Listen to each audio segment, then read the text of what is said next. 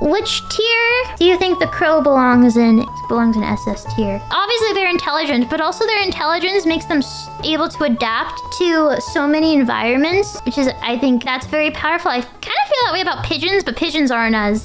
But I think pigeons would be a or B. Pigeons can be pretty smart and are very adaptable. But that's what kind that's just area of power level. But yes, they can use tools. A lot of birds can use not a lot of birds. But other birds can use tools too. But probably not as much as crows. I think crows are regularly seen using tools. I saw crows today with their little snacks and stuff. I put crow in SS tier. I think the dumbest thing that they do though is eat five-day-old Subway sandwiches. okay. Humans, you think you all would go into SS tier? You sillies? You sillies,